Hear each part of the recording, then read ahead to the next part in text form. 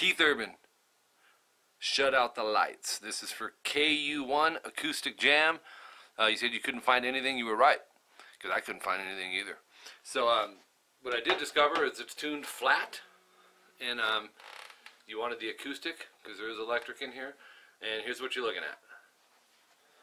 I'm Mike Gross, by the way. What's up?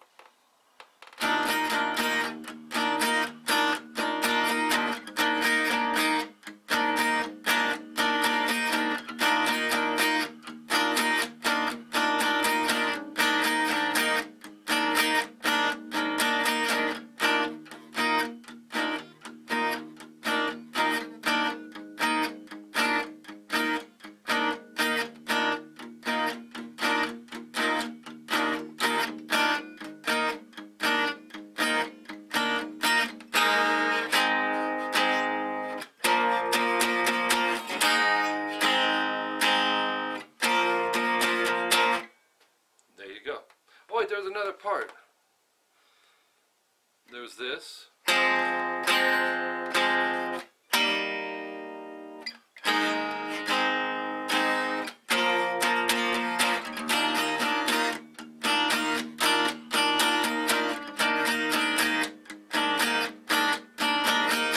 See how it loops back. So that gets you from the intro, which is still the verse, through all those parts till it repeats. All right, so um, let me show you how to do this. Let me make sure I'm in tune as well.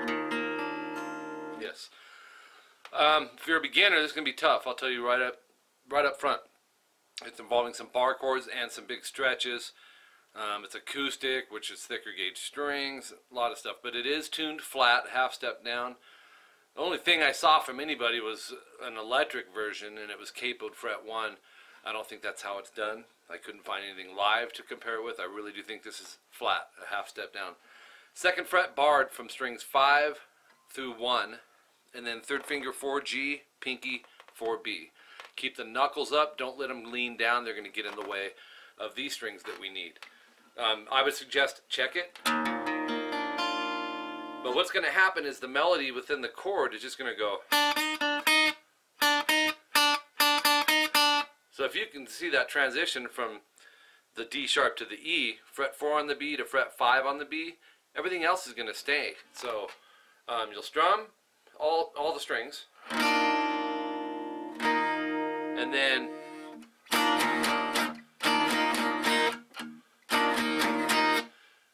and then you'll go pinky 5B, and then bring it back, and then bring it back again. So the first subgroup is Okay. Two palm mutes off the low E. Remember when you palm mute, you should feel that bridge across your hand. It should be not all mute, but note mixed with it. Very key. Players have been playing a long time and struggle with that. So we have then go four or five again on that B after the two palm mutes palm mute the open E once, then back to the 4B. So we have. And then one open E palm muted again. So.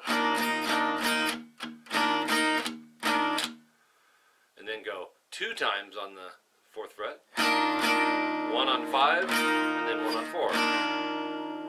That's the rhythm.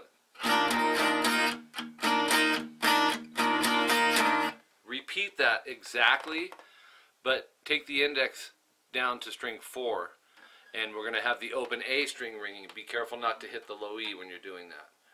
But the same beat, same uh, melody, the note change within the chord. The palm mutes are going to be off the open A now, right? Not the low E, because we're not playing the low E. So chord outline would be this. and then the next. That alone you're going to find is pretty tricky. It's melodic. Good stuff. Then vocals come in, and it's kind of a play off of that chord-wise, but um, not as much movement. In other words, act as if you're starting over and go strum, palm mute, palm mute on the open E. Then pinky goes to five, two open E's palm muted, and that'll go two times, and then go back one palm muted E to fifth fret. So,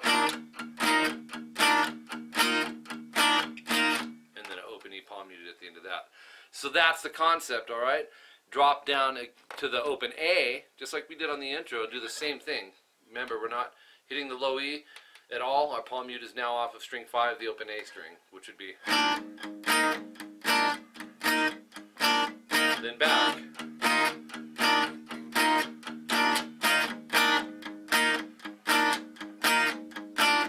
Now it does that. Now when I played this in the intro, I forgot. When they leave that section, you're not playing a full time, the full measure on the A open A one, where you're going. Instead, go if I remember this right. Dang it. Or I think it's going to be four, five, four with the two open A's, palm muted in between. And then this is an A2 to an A major. Um, second fret D, first finger. Second fret G, middle finger. Keep those knuckles up.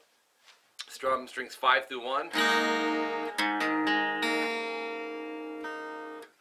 Um, then drop down to the C sharp. Second fret on the B, two times. So we have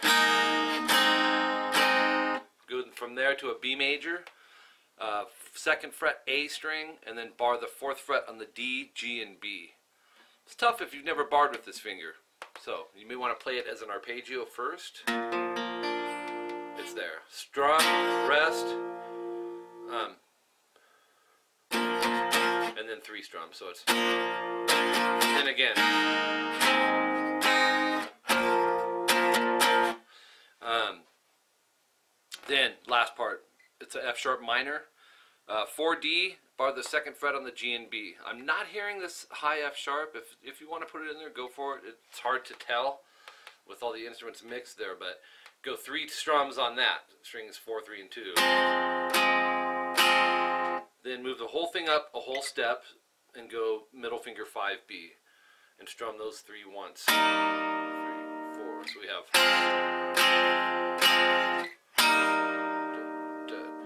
And then back to what we did on the A2 to the A, right? Into the B. And that's it. You're back into the very beginning. Yeah. Or I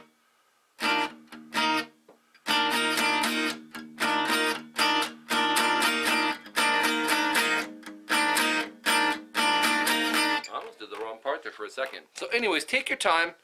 Um, it'll come together. Uh, I'd say if you're approaching intermediate level, if you're a beginner, this might be a little too far advanced. In those cases, you can still work on stuff, but it'll do um, what I call string elimination, where you can take off a couple strings in the chord, and you can pick which ones you want to do and see how it sounds to you. Subgrouping is very important, though. Um, if these chords are still tough for you and you've been playing a while, play them as an arpeggio, which just means you're picking the notes of the chord, right? Um, and that will get you used to the form so your hand will just come down and nail it. All right, um, that's it. Be sure to subscribe to the channel, of course, so you can make your requests. Share this stuff. I appreciate you guys. YouTube.com slash Rocking Guitar Lessons 1. Uh, my website's rockinguitarlessons.com. And hit me up if you're interested in some private lessons on Skype.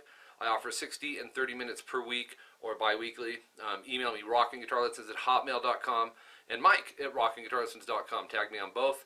And um, or you can read the description below to give you the price breakdown and also check into my CVT lessons. If you can't do the one-on-one -on, -one on Skype, that may be an option that you're interested in. So till next time, I'm Mike Gross. We'll see you guys later. And it's hot out here.